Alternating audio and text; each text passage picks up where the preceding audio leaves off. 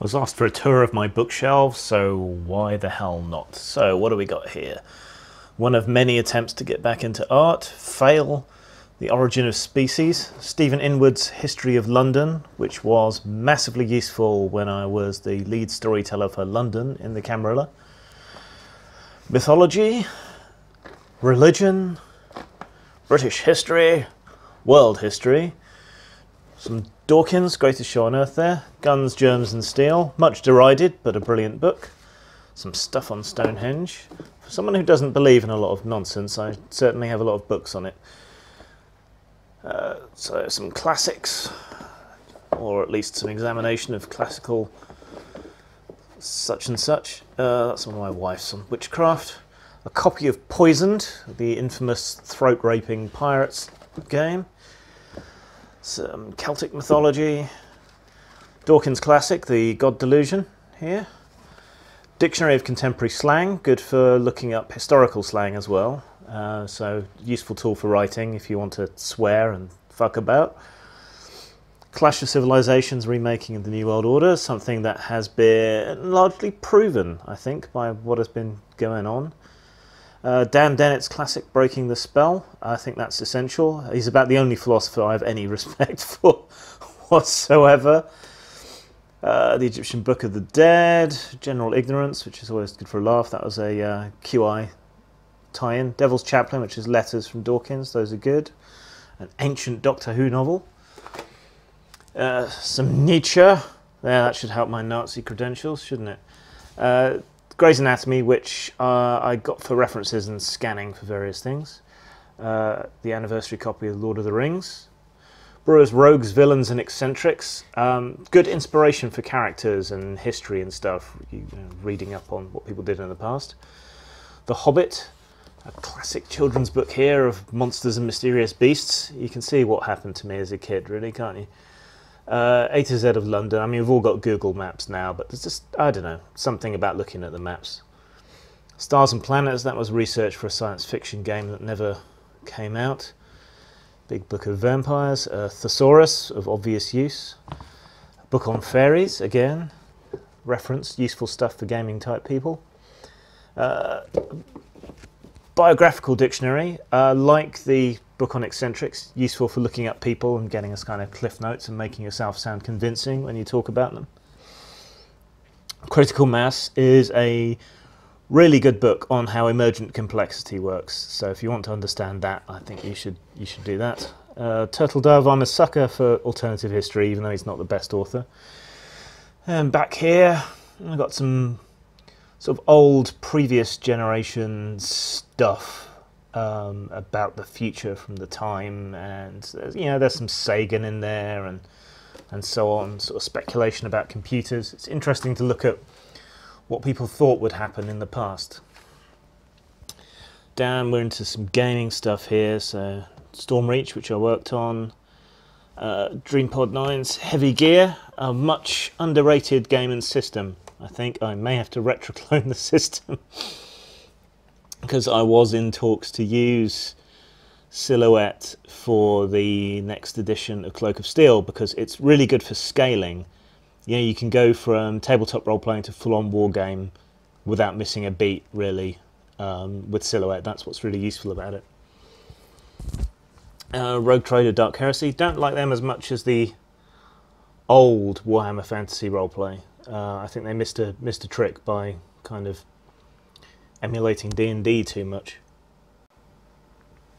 Earthdawn, I've never even cracked open.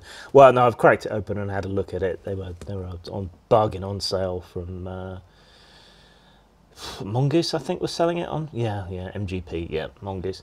See, I like the idea and the concept of Earthdawn, but these books weren't especially well laid out, and I didn't think too much of them, to be honest. Mathematical science fiction puzzles, some Lamentations of the Flame Princess up there, and the best poetry book in the world, John Cooper Clarke, our punk poet laureate. If you don't know who he is, look him up, you won't regret it. A bunch of Flashmen, because who doesn't like a coward pretending to be a hero? More myths and legends and so on, some stray Richard Morgan, Warren Ellis's first kind of novel thing. That was that one was a bit of a disappointment because it was just kind of rehashing other stuff he'd done.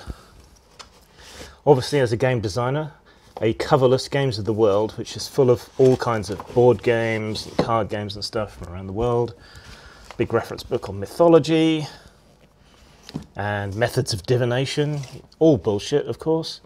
Ancient Egypt, myth and history, and so on. Back down into the into the games.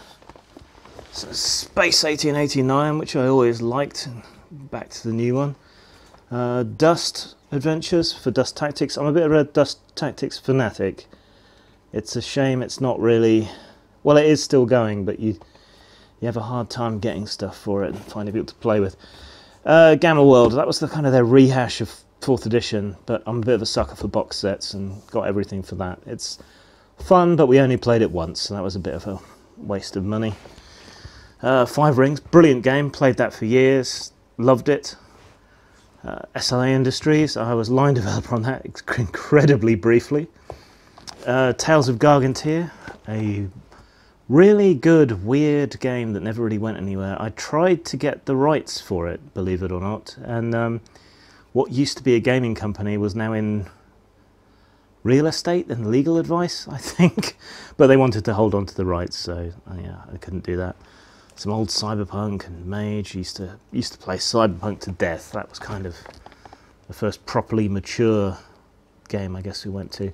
There's some oddities in here like Tribe 8 and a, an obscure diceless version of a Marvel game um, that never really went anywhere, but was in lots of bookshops. I picked it up because I'm curious about diceless games. Maybe I'll maybe I'll review some of these books on my channel. Just kind of talk about some of the more obscure and weird ones. Underground is a relatively obscure one, but it had really good rules for kind of um, changing the city and the environment around you by what you were doing. It was very much a game about social change without being pretentious and SJWE. Um, the mechanics in that for that are, are, really good, and it's one of the better ways of handling superpowers I've seen in games. So, and it had some interesting ways of going about things. Uh, down below, we've got some more heavy gear, Star Blazers, uh, which is brilliant. You should pick that up. The old good version of Warhammer, the Strange, which I haven't played yet. Cypher. I was thinking about releasing something on Cypher, but the license terms aren't particularly fantastic, and I haven't really figured out what I want to do with it yet. Uh, we got some Fading Suns, Book of Unremitting Horror with art by Dave Allsop, who is amazing. Central Casting, which was a bit of an inspiration for my 100 Seeds books, though you wouldn't know it. I'm thinking of doing a follow up to the Seeds books for stuff for players, thinking that, you know, might do all right. Um, Gear Krieg was kind of a precursor to Dust in a lot of ways, a sort of diesel punky World War II.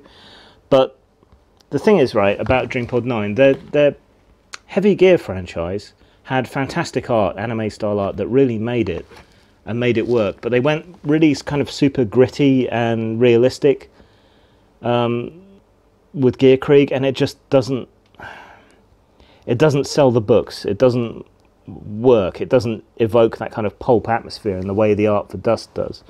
So that was a bit kind of uh, disappointing, I guess.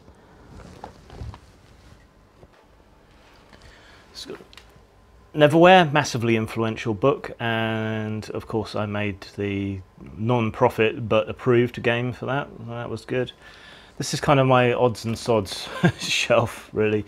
Odd little things I've picked up and considered and so on. Aberrant really handles uh, superpowers well, I think. Though we tried to play with a couple of people, but not everyone's so into the, the whole story thing necessarily. Barbarians of Lemuria, good game, you should pick that up. We've got some Palladium down here, some Mega Traveller. Uh, Mechanical Dream, another one of those odd games with the weird premises that don't make a lot of sense, and it doesn't help that it was kind of written in Canadian French and poorly translated, making playing it a bit of a challenge. Some more Mage, love Mage, up until the Avatar Storm. Fuck you, Jess Heinig. Legends of Anglerre, that's kind of the fantasy version of Star Blazer. Those are both worth picking up if you like Fate and you like kind of extending Fate into something more. Uh, Macho Women with Guns, which I've worked on. I've got the originals of those down here. Yes, the originals, little papery things, which I somehow managed to mangle into a game of some sort. Uh, Nightlife, which was kind of vampire before it was vampire, and uh, Brad McDevitt, who works with me a lot, was heavily involved in that. Again, I was pursuing the license for that for a while, but they uh, want far too much money for it. Crimson Skies, brilliant board game, brilliant world. I wish they'd do a role playing game of Crimson Skies. I really, really do. Cannibal Sector 1, which I wrote, of course. 7 TV, which is kind of um, a spy skirmish game. Uh, I bought that when I was selling Agents of Swing, actually, because I thought they might go together. Not managed to play it, but it's um, it's a fun read. And if you like skirmish games, they've got some really good minis for that. Mars, I should probably sell because that's one of Skarka's games.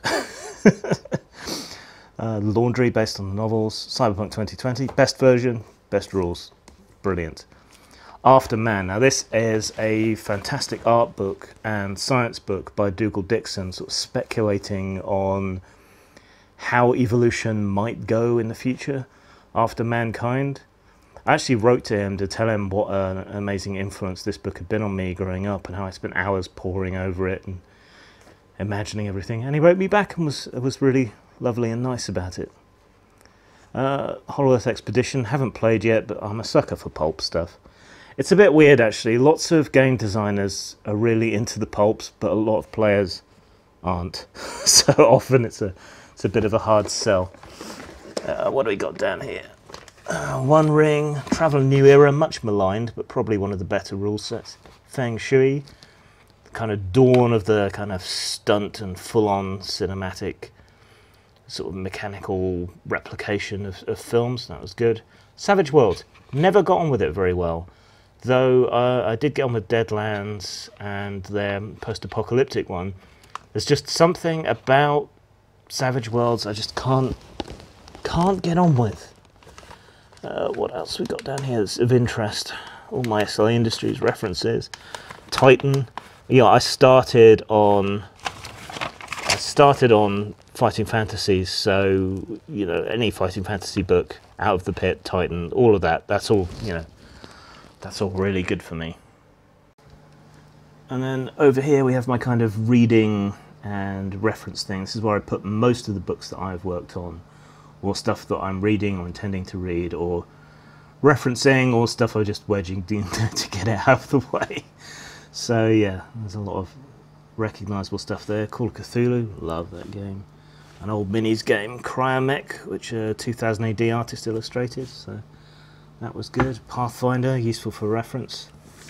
Uh, honestly, I can't remember half the stuff I've got down here. Oh my god, I actually bought a copy of Rift with the Palladium rules. What was wrong with me? oh, here we go. The old paperback Dragon Warriors from the mid 80s. Now, this was a really accessible format that I wish people would go back to. Maybe I should do like an homage game of some kind and publish it in that kind of paper, handy paperback format. You had like a series of books, like the first one was um, barbarians and knights, and then you had sorcerers and mystics, and then you had assassins, and, and you just you know it kind of expanded the rules in an intuitive and interesting way through through each one. It's been been republished since, but there's just something about the old paperbacks that's just really really good. So through here, a few old minis, a lot of old Crimson Skies clicks, which I just used for playing the regular board game some Iron Kingdom stuff, and an Ancient Dragon. I think that was a Citadel one. I don't know, that, that blue came out really well on it for some reason. And a wall of board games. And card games and other odd bits and pieces.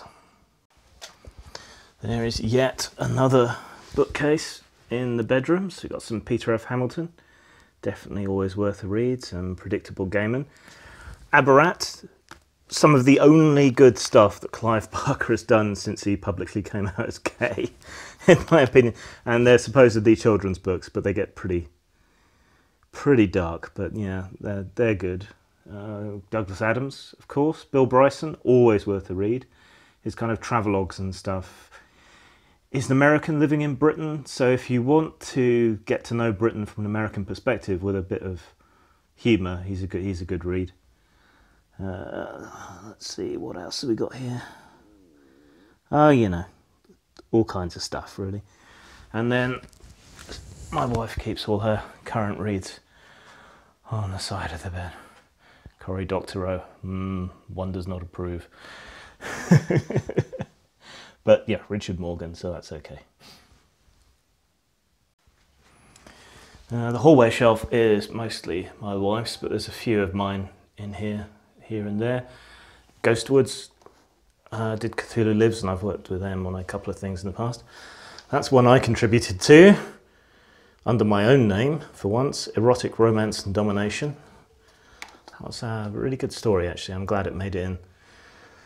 So got some uh, Larry Correia there. And we got some old pulp classics here somewhere. Yeah, Raymond Chandler, there we go.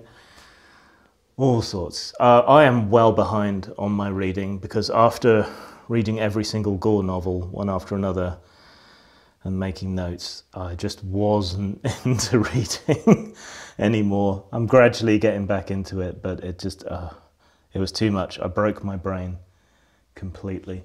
Ah, a whole bunch of Heinlein. Who doesn't love Heinlein? Well, we know who doesn't love Heinlein, but in this house, we love Heinlein. And some classic William Gibson there, Neuromancer and so on, and a difference engine. Right, this is how steampunk should be. If you like steampunk, read this, nothing else, just this. Hidden away in the cupboard under the attic, my vast collection of dust, which I never get to play with and was ironically, gathering dust. You're beginning to gather how much we like books yet? Hello, Nikki. so yeah, cookbooks. My wife likes to collect old ones. We've got Mrs. Beeton and a whole bunch of other stuff, cuisines from around the world and all the rest. So yeah, cookbooks too. We we like books. Brief hello to the Charlie cat. You should not be licking plates. Say sorry. Doesn't give a single solitary fuck. So yeah. Here we go. Next bookcase. DVDs and a whole bunch of books. So stuff from friends, people we've backed on various things. Iain M. Banks, of course. Joe Abercrombie, good series of books. Uh, unconventional fantasy. I am not a huge fan of fantasy, but his books, very good.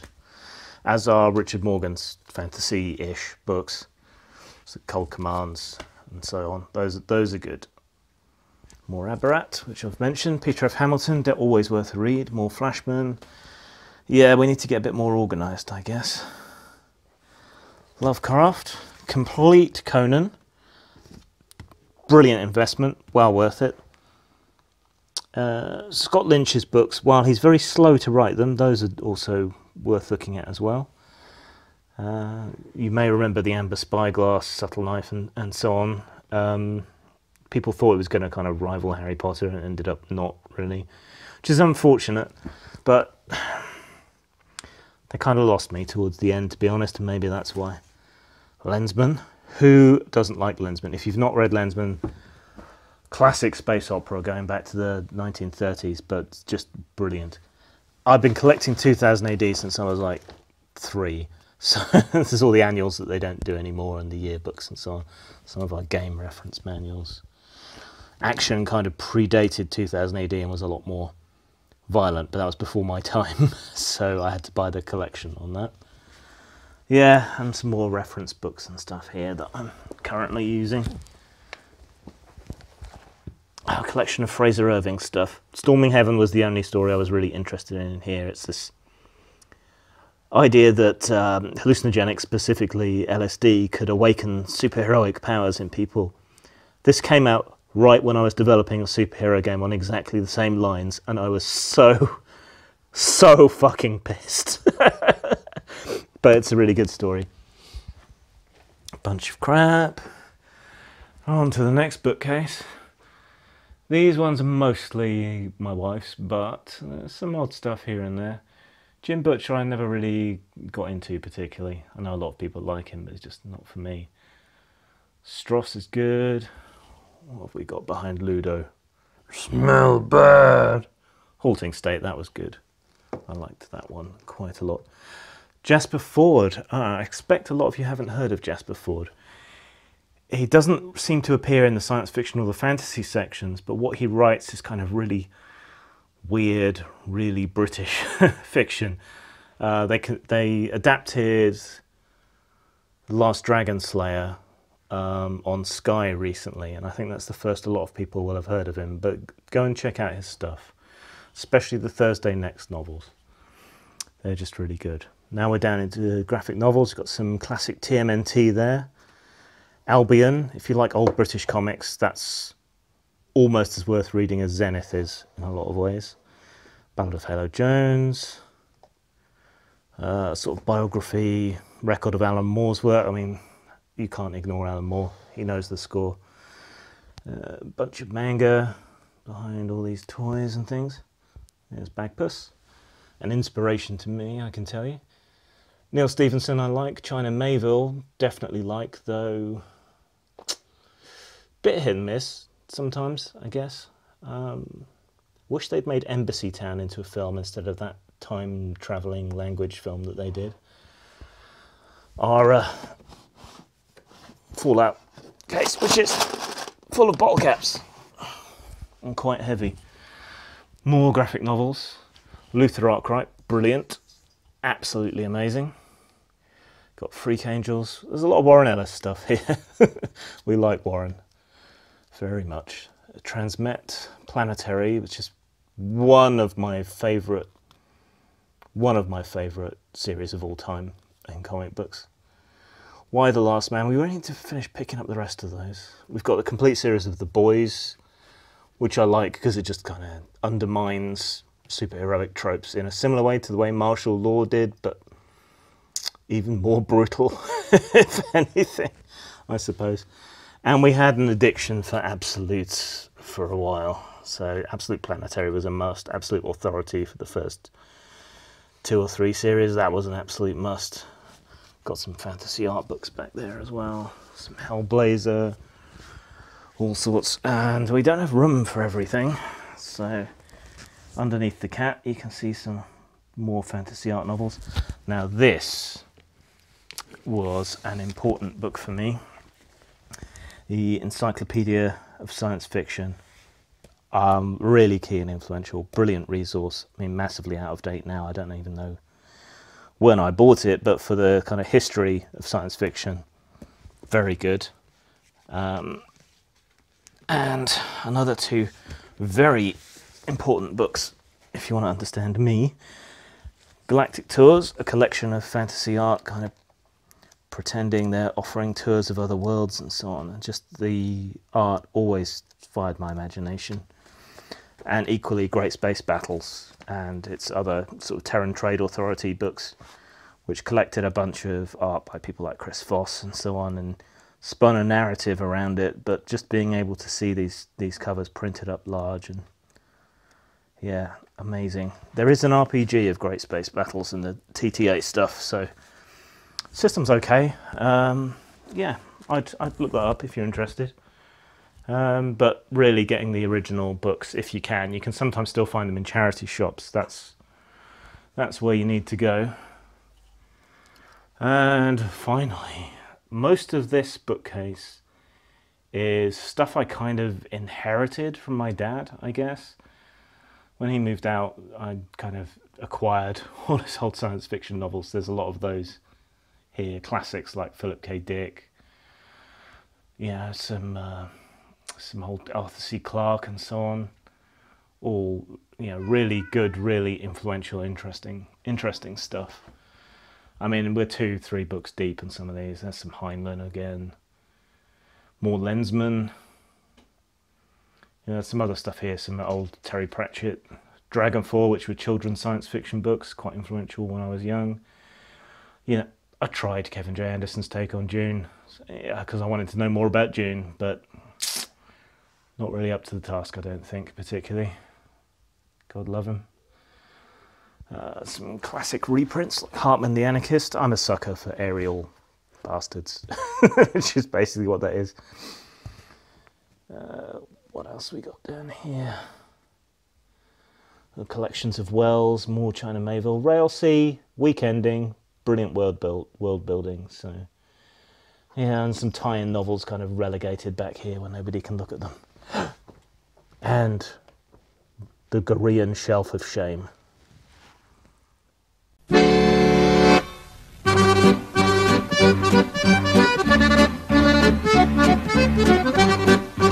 Thank